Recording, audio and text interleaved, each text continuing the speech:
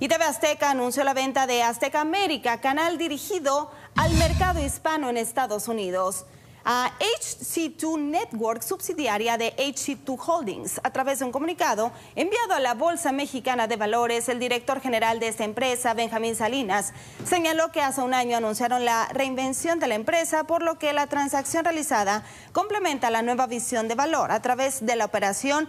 HC2 Network adquiere justamente Azteca América algunos derechos sobre parte de su inventario de programación, mercadotecnia y ventas de publicidad, además de sus activos, resultados de operaciones. Asimismo, tendrá acceso bajo ciertas reglas al inventario y contenido de TV Azteca.